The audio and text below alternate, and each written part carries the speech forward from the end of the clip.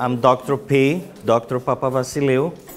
I'm a spine neurosurgeon, but most of my patients call me Dr. P, and you're all welcome to call me like that. Uh, I've been practicing in the Boston area over 20 years. I'm the co-director of the Spine Center downtown Boston. I'm in charge of neurosurgery here at the Milton Hospital, which is next door to you. And my primary interest is spine surgeries and the aging spine. So when I was asked to give the, a talk here, I thought the topic of low back pain, especially on the aging population, is something that bothers all of us. And I, I thought it's good to share my thoughts. So today what I'm going to do is I'm going to talk a little bit about the low back pain, uh, things to watch, things not to worry about, when it's the time to see your doctor, when you can say, you know, let's try medications a few days, and what's to really worry you about it. I'll show you what surgeries we're doing and what we can do. Uh, before starting the formal presentation, uh, I wanted to talk to you about a patient that I saw yesterday. It was downtown in Boston. So she comes in really nicely dressed up, makeup, with her hat, amazing. I looked at my notes. She looked like 75 or 80. She was 90. So very pleasant. Was talking and she was very pleasant to talk to, and she was telling me her story. So she used to work for one airline at Boston Logan. She used to go at the ticket counter. She would fly everywhere in the world. She had tried skydiving, uh, she did sailing, parasailing, paragliding, very adventurous. She told me why she never got married, because there was a very young guy that was great. They were going to move to California, but then he tells her, We're going to live with mom and my sister.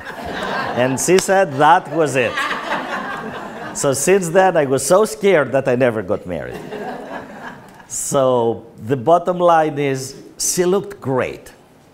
And people are saying these days, you know what, I'm 80 years old, I don't think we should do anything. This is not the case. I feel like people in their 70s and 80s, even 90 years old, have the right to at least discuss the option of surgery to relieve their back. So this person, we talked about surgery, She's going to do it most probably. She hasn't given me a final answer yet. Uh, she wants to discuss with her significant other, who's like 15 years younger. so, uh, we're going to talk about low back pain. So, overall, if you look at an office visit at the primary care physician, this is anywhere between the second and fifth reason for people they're going to visit. So, if I'm a family practitioner, my second, third, or fourth most frequent complaint of my patients will be low back pain. And most people come and tell us, I have back pain, that's it. It's not like I have a disc herniation or anything like that. So most of us are going to experience low back pain at least once in our life. If people tell you I never had low back pain and they're like 70 or 80 years old, they probably don't remember well. We all have had episodes of back pain. The problem is most of them, or the good thing is, they resolve. After a few days, it goes away, and we don't need to do anything. So 90%, 9 out of 10, are going to go away in four weeks. So the people don't even need to see a physician if that's the case. Only 7%, 7 out of 100 patients, will develop pain which is bothering them for a long period of time. It's the same between men and women, but a lot of people are disabled because of the back pain. So it's a big problem. People are really worried about the backs and the back pain. So when they, you come to a physician's office to talk about the back pain, there are a lot of things that your doctor is going to ask you, and you need to be thinking about these things before you even approaching to the doctor. Like they were going to look about the anatomy, like where is the pain? Does it hurt up here? Does it hurt lower there? Does it hurt all the way to my tailbone? We're going to talk about any history. Did we have a fall? Did we have any injury where it tripped a little bit? Especially with older women who may have what we call osteoporotic fractures, which is a broken bone just because of osteoporosis if it's left untreated. And of course, we need to do an exam as well when you come to us. So just a quick, very, very quick explanation of how your back is. There are five vertebrae number, named lumbar vertebra for the lumbar spine, and it's lumbar one, two, three, four, five. So these are the strongest, the largest vertebra people have. So this is how your spine looks if you look at the spine at, on the side. So this is from the side, that's from the back. And this is if you look from the top down. This is the front, this is the back, the left and the right. So whenever someone comes to my office, I try to share the MRI and I show them also how the spine looks like. So this way, I try to explain to people what I'm going to do when I do surgery. And I can come back and talk to you about what we do in different surgeries like that. So this is the disc. This is the disc that lies between the vertebra. That's what it looks like. And here it shows you this is your spine, looking from the side again, and these are the nerves as they live at different levels on your spine.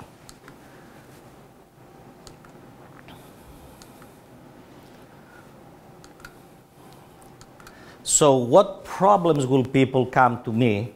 What will the problems that are going to lead to low back pain? First of all, it's desiccation, disc dehydration. So the discs are the little pillows that are stay between the vertebra and they're the shock absorbers. They're like little plastic material that's very, very light, like a pillow. With time, it starts to degenerate. And people over 50 and 60 routinely have a lot of these discs desiccated, losing their properties, and they don't work well as shock absorbers. So what that will do is potentially cause back pain. The next level of degeneration is when a disc ruptures. So basically the disc leaves its normal position and moves to the point that puts pressure on the nerves. And that will cause the leg pain, the numbness people complain, and sometimes the back pain. You may have also heard about bone spurs. So it's overgrowth of bones, basically, osteophytes, you may hear them as well, that may be putting pressure into the spine, into the nerves, and also causing back pain and leg pain as well. Whenever we talk about back pain, we need to know is it leg pain as well. So there are different questions we are going to be asking you and try to find out what's going on and why you have back pain. So what can cause back pain long-term factors? Obesity, doing a lot of hard work, especially lifting a lot, heavy weights that your body is not ready to do, twisting your back, especially if you do something like lift something heavy and moving it this is very difficult problem to deal with if you're not have well-trained muscles on your back. Any type of trauma, of course. And sometimes people that have a lot of depression, like psychiatric type of disorders, everything is exaggerated. So people that will say, have severe depression, they have the tendency to exaggerate sometimes how their pain is. And when it's a pain that will be tolerated by someone else, someone with major depression may say my pain is worse than what you would expect, especially with an MRI with a back exam doesn't look, that does not look very bad. So these are all important factors that we need to evaluate to decide how we deal with someone's back pain. So I have an example here, a patient named Jonathan who had low back pain that happened 24 hours ago. So when someone comes to my office as a primary care physician with this complaint, first of all, I think it's a little premature. But on the other hand, if the pain is so much, I need to do something for it. So he has the history. I was lifting something really heavy, and then I started having this severe back pain. And I have back pain and leg pain. So how shall I deal with that? First of all, you don't need to see the specialist right away.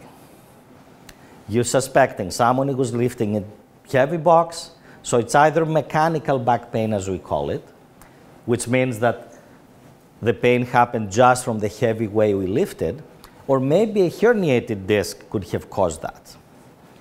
So at this point, it's premature to get an MRI or send to a specialist. But again, when I see this person as a primary care physician, I need to think in my mind and I need to worry. Are there any red flags? Is anything I worried about? So things we're going to ask you. Do you have any problems controlling your bladder? And when I ask about that, I'm not talking about not making to the bathroom on time, because it happens with everyone basically, but I'm asking about not knowing it's happening. So the question is, if you have a bathroom next door, will you have accidents? No. If the bathroom is half a mile away, will you have accident? Yes. So this is not as worrisome as it would be when you tell me I need to wear a diaper because I don't know when I go. So this is a red flag. This is very worrisome. If anything like that happens to anyone, you should talk to your primary or go to the emergency room. And again, if it happens suddenly, if it's been going on for 10 years, you don't need to go to the emergency room, of course. Just try to use a little common sense as well. Uh, the other thing that your primary should do is get an exam. First of all, lay hands on, lay hands on your back. Where is the pain? If there's a lot of pain in a particular area, it could be a broken bone. How do we find that out? Very easy, plain x-ray. And then we proceed to the next steps. The other tests, check the strength of your legs. By checking the strength of the legs, we can find out if a nerve is compressed. If a nerve is compressed, then we suspect there is a disc herniation.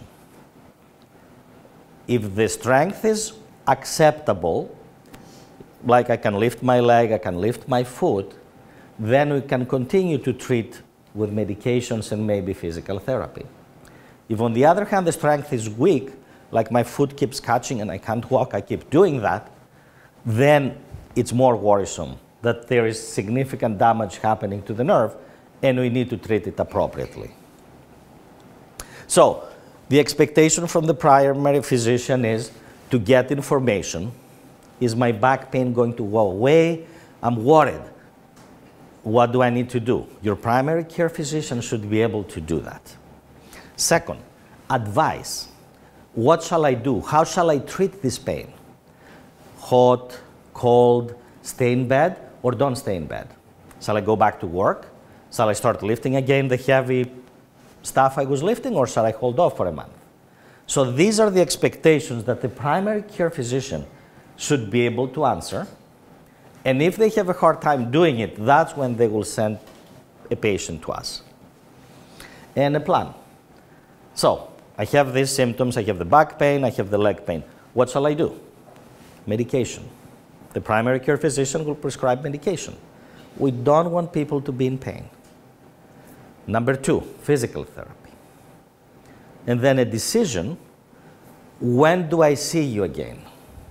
How long shall we let this be like that?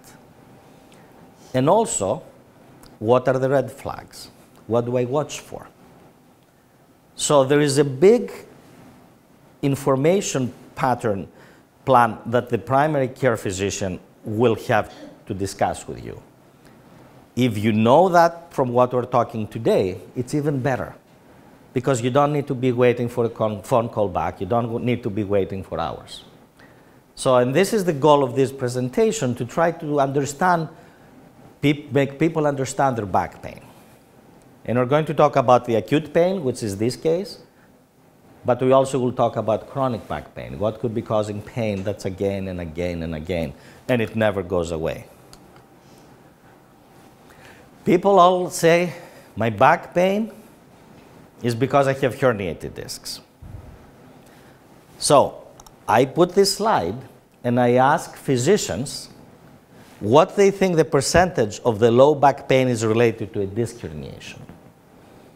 The correct answer is this one 4%.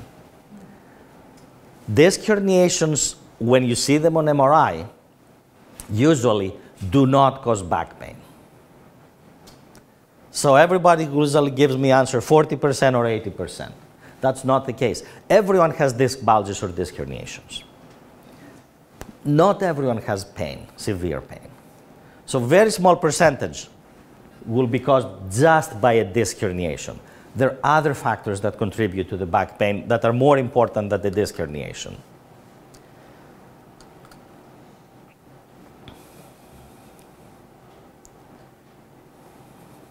So, what do we need to worry when we have back pain? The things that I need everyone to worry about as a patient or as a physician is red flags, which, as I call, is that an infection? So, who can get an infection? People that have high blood sugars, people that are doing drugs. This is usually people that can get an infection in their spine. And if it's an infection on the spine, needs to be in the hospital. So this is all we need to have in mind. Usually people with an infection don't have chronic back pain. They're doing okay and suddenly they feel they have really bad back pain. So that we need to figure out right away. Uh, and cancer is the other side. Cancer can invade the bones and can cause back pain. And this pain is bad, it's miserable, and usually is there all night. What we tell ourselves as physicians, if the pain does not let you sleep or wakes you up at night, it may be cancer. You need to think about it. This is very important information that people don't realize. So this is what we'll be looking for. The other thing is if we have a fractured vertebra.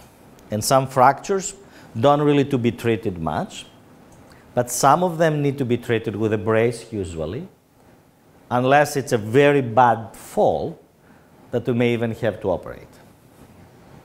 So these are the things that people need to worry about.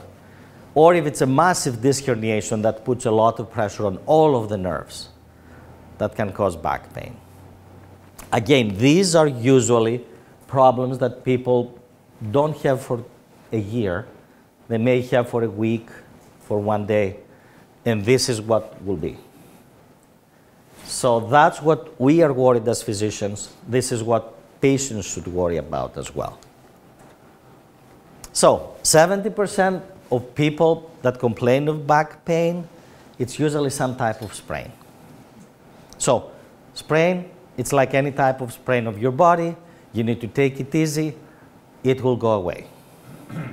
So that's what we have the tendency to treat patients with. Then degenerative disease of the spine will be 10%. So basically some disc bulging, maybe some joint problems, maybe some disc herniations, or maybe some abnormal movement on the spine. That will be 10%. The fractures is a small percentage, but it's there. And the older the patient is, the more chances we have to see a broken bone, a fracture. Disc herniation is 4%, like I said. Lumbar stenosis. This percentage is in the general population. However, people over 70, the lumbar stenosis is about 20%. And this is a very common problem people have that I want to spend a little more time in the end. Spondylolisthesis is when the vertebra slipped. Sometimes can cause a lot of pain, sometimes may not. However, people have this for a long time. It's nothing new. So it's nothing that we need to get too excited about dealing right away. Sometimes the discs can cause back pain, but again, it's a very small percentage car accident or a bad fall. Cancer is a small percentage. But again, if I have the back pain, I always worry, like, yes, one cancer is a very low percentage, but I want to make sure it's not there. That's important to know. Arthritis and infection, which again, very rare, but it's present, and this is what we need to know about. So, how would I treat this patient, Jonathan? I'll give him medications Tylenol, muscle relaxant, Motrin or Aleve, and maybe something stronger for pain like tramadol, oxycodone. This is the most important thing for now. If you want to send someone or see a chiropractor, I don't have an objection, but there's conflicting evidence on whether they really help or not. So what I want is to know that the chiropractor is going to do a very thorough exam of you to make sure there's nothing abnormal on your exam and then treat you. As long as they do that, I'm okay with that. But if they start treating you just because you have back pain with what they do another 100 patients that day, I don't think that's something wise. Exercise. There's no evidence it's going to hurt. So if you have back pain, you can still exercise as tolerated. Bed rest. Maybe a couple of days, and then start light activities. You don't need to be in bed all the time. You need to get up, you need to be moving, you need to get on with your life. The fact that you're 70, 73 years old does not mean I'm old and I'm laying in bed. You get up, you need to continue with your life. This is how we're going to reach 95 and be nice makeup and everything look great. Massage is acceptable. Physical therapy is acceptable. We can try ultrasound. The therapist can do that. We can try heat, cold. Traction we are going to recommend in some specific cases where we stretch your back as well as the TENS unit. So the physical therapy is a very good initial recommendation on someone who has a new back pain. Acupuncture, I feel sometimes it works, sometimes it doesn't. I will not jump the gun to recommend acupuncture. The only time I would recommend acupuncture, definitely, to someone that has back pain for a long time, we don't have anything else we can do to help them, so I suggest definitely try acupuncture as well. I think this is an alternative and it's not hurting. So, what we're going to do with this guy Jonathan, we gave him medication, so we get him physical therapy. So it's been six weeks and he's still not happy. If I get some x-rays, I will see maybe a fracture, a broken bone, but that's it. So the next step is to get some imaging, like why is the pain staying? So what I'm trying to tell from that is we don't need to jump the gun and get an MRI immediately or a CAT scan unless we have exam findings that make that necessary. So we'll wait a few weeks, see how you respond to the medication and the conservative management as we call it, and then get an MRI or a CAT scan. What's the difference between MRI and CAT scan? The CAT scan shows you the bones very well. So if you have a broken bone, the best way to see it is the CAT scan. And will give you a lot of information about the broken bone. Is it bad? Is it good? Is it something you can treat with a brace only or without any treatment? And also will give you an idea whether it's old or new. Some people have broken bones in their back that they don't know about. Osteoporotic fracture a broken bone in the spine as a result of osteoporosis means you don't even know you have it sometimes. You lift something or you open a drawer, which is kind of stuck, and suddenly you feel a little back pain and then it's gone after two or three days. Never go to see anyone. Then you go to the emergency room, they do a CAT scan. They find a broken bone, which has probably been there for two years. They send you to Milton, then they transfer you downtown to BI. You spend the whole night there waiting to see me. I see you and I tell you, this is all, you can go home. so it's good information to know what's going on about your body. It's really helpful to be able to tell your physicians, oh yes, I know I had it like five years ago, somebody told me I had a broken bone. And it's very helpful for us too. Sometimes I can't tell based on the CAT scan that this is new or old. And you may have some pain if you sprain your back. So what am I going to do then? Then I'm going to get an MRI. And then you need to be wait another 8 to 10 hours to get the MRI. And so forth. So what do we do this way? We fill up our emergency rooms with patients that probably should not be there, and we torture the patient. And I really do not want to do that. All of my patients, I try to avoid them go to the emergency room. I'd rather see them coming to see me in an office or maybe the urgent care, which is easier, because it's not fair for someone at any age to be stuck there for 24 hours. That's how I personally feel. So anyway, the ideal study is an MRI in most of the cases for anyone with back pain. Of course, people have pacemakers, so we're forced to do a CAT scan. Uh, however, a lot of the pacemakers today, they're compatible with MRI.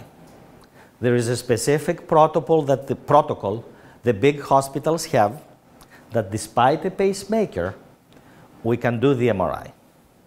So not every primary care physician is very familiar with that. So I want everyone to keep in mind, if we have a pacemaker, it doesn't mean MRI is out. The other misconception, if I have rods in my back, I cannot have an MRI. Usually rods are compatible with MRI. It may not be the best quality, but it can definitely be done. Injections. So, very good solution. And there are different types of injections. I'm going to try to get you some understanding what the different injections are for the back pain. So the most frequent one is what we call a lumbar epidural steroid injection, cortisone, prednisone. What they do is they inject in the middle of your spine, and that covers a lot of area. And that's very good in treating the pain, but also gives the uh, specialist an idea if the pain is helped by the injection, it's probably coming from the back. It may be coming from other things. It could be your hip that's the problem. So if the hip is the problem, you walk crooked, you prefer one leg versus the other, and then puts a lot of stress on your back and back pain. So if the lumbar epidural steroid injection doesn't help, let's think other causes that could be causing the back pain. Facet injections. Facet injections are going to the joints. So if we go to the first slides that I showed you with the anatomy, this is where the nerves are in the spine. So the epidurals go here. The needle goes all the way here and covers all the nerves that would be here. The facet injections go here where the joints are. And each vertebra has two, left and right. So they can do these injections. These are facet injections, and it really addresses the pain that's related to the facets, to the joints. This is what we call mechanical back pain. It's not from direct pressure of the nerves, it's from the joints themselves.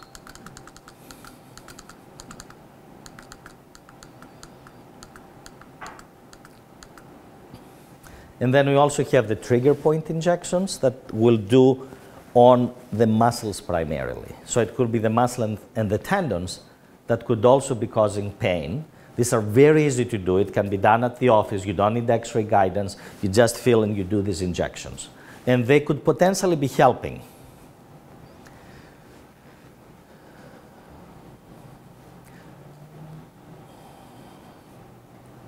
When would you expect to see a surgeon? Cauda equina means you have no control of bowel bladder. If you have sudden loss of bowel bladder or gradual over the last month, that's when you really need to see a surgeon. Progressive or severe deficit, when you have a lot of weakness, when the leg is not working, you need to see a specialist. The other day, I saw someone who had what we call a foot drop, like the foot was not moving up at all for three months. This is unacceptable. What she did, she ordered at the Amazon a brace that was holding her leg up like that, which is what we do when it's a permanent damage. So it was a smart woman that did it. But again, you need to see a specialist to see, can I do something to fix that? Don't wait the three months. Failure of conservative treatment and persistent deficit. So we try this for six you know, weeks. The back pain is still there. I do need to see a specialist. And leg pain. If you have constant leg pain, you still need to see a specialist. And these are the diseases that will require you to see a specialist. Number one on people over 70, lumbar stenosis. What's lumbar stenosis? Narrowing of the spinal canal. So instead of having this kind of width on the spinal canal, it gets really tight. When it gets tight, the nerves are bundling up close to each other and they feel the pressure. And because they feel the pressure, we feel like we cannot stand up straight, we cannot walk more than a block, and our body has to be like this. Have you seen some old ladies walking like this? I used to see them growing up in Greece in villages. So these people have very severe lumbar stenosis. And this is something we can treat. I see people in the supermarket. They get the card and they walk like this. I'm so tempted to tell them, this is my card, I can fix you. but I cannot. so my kids laugh at me when I say that. But these are things we can help with. And the lumbar stenosis can also cause back pain. And this is something we can treat. Can we give injections for that? Yes. The injections will work for a couple of months, and then the symptoms will come back. So lumbar stenosis is very high prevalence. We see it a lot on people over 70. It's usually a relatively quick surgery, and you go home in a couple of days. And people feel great after that. People stand up straight, people can walk long distances, people feel taller. Their friends say, What happened to you? Because you're like that, you're short. When you straighten up like that, you look taller to everyone. And you can get rid of canes, you can get rid of walkers, you don't need to be on the supermarket like leaning on the cart like that. So it's very important to know that lumbar stenosis is something we can fix. Spondylolisthesis is when vertebrae are slipped against each other. Usually it happens over a period of time. Could be an injury you had when you were young, but your muscles were really nice and strong and holding things together. But as time goes by, that could be causing a lot of movement of your spine, and that could cause a lot of back pain. We can treat that. But in most cases, with that, we may do screws and rods and do a fusion. So it's a little more involved. But again, a discussion with a specialist is very important. Because then we talk together, we sit down together, and we decide whether surgery is the way to go. People have other problems, need to be on a blood thinner. People need to have blood pressure pills. People are on dialysis because of kidney disease. And that's when we come as specialists to tell you this is the right thing to do. Get the surgery or don't get the surgery. Fracture. If there is a broken vertebra, then we need to decide how we treat. And in most cases, most of the fractures, we just put a brace for anywhere like one to three months, and that should be okay. That should be acceptable, and you go on with your life. Rarely I have to operate, so, but this should be dealt by us. If you have a tumor, then we need to talk more. We need to do metastatic workup if we know if we don't know what's going on. Uh, we usually try to avoid to operate on someone with a tumor in the spine unless it's a benign tumor inside the spinal cord. And these people can do well. People may be surprised how well patients can do with tumors inside the spinal cord. And the last disease, which is the more complex for us to help someone, is persistent low back pain due to discogenic disease. So you have bad discs, you have back pain, but nothing striking as being the issue. So this is a very complex decision on what to do with the patient. And the reason I say that is you don't know which is the disc where the problem is. There's no easy surgery we can do to help with that. Do I need to fuse one level? Do I need to fuse five levels? Do I need to fuse your chest all the way to your pelvis so you don't move at all? And physicians have tried all these things in the past. But again, we need to think about it. Fusing your whole spine together, is that a trade-off worth to get rid of the back pain? Is the back pain so bad? And sometimes we may have to do it. But I don't think it should be the first point you start with. I think we need to exhaust everything else before we get there.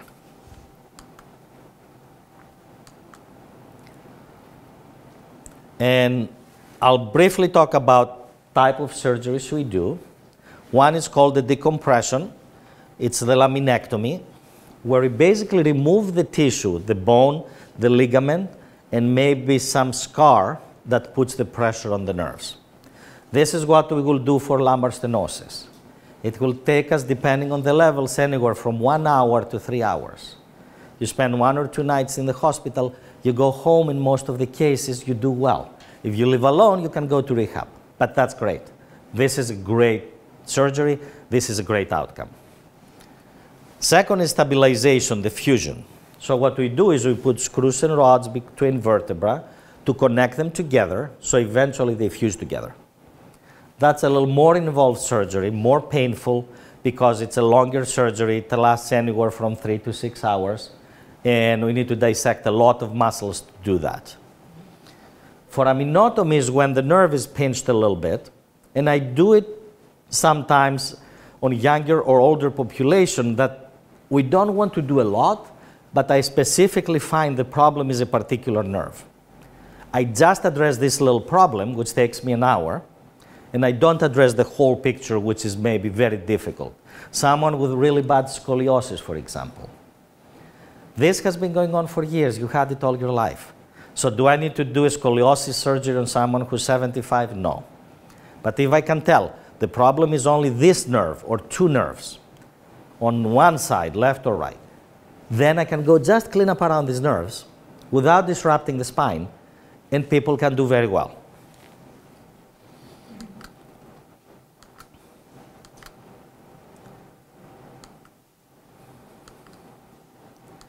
So these are different type of surgeries uh, that people may have heard about.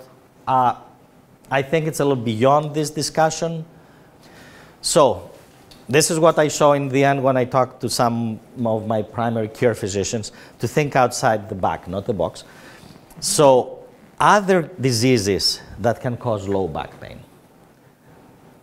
What it could be. It could be a disease in the back of your stomach, of your bowels could be pancreatic cancer, it could be renal cancer, it could be prostate, pro prostate problems that can cause back pain.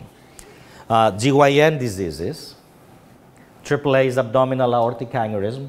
If it's like pulsating, if it's big and it's about to rupture, can cause a lot of back pain. Uh, herpes zoster, which is usually a very characteristic pattern. People that did not get vaccinated can get herpes zoster. I'm sure everyone has heard from the primary care you need to get the zoster vaccine. If you have not, talk to them. It's very painful, it lasts a few weeks, and it's very disabling pain. And sometimes diabetes can cause back pain as well. Sacroiliac joint disease. Sacroiliac joints are the two joints here where your pelvis meets your spine. Sometimes this can be part of your back pain complex, and this is a different way of treating. And rheumatologic disease, rheumatologic arthritis, or specific diseases that are rheumatologic and cause back pain. And unfortunately, surgery will not help with that. Thank you. Thank you so much.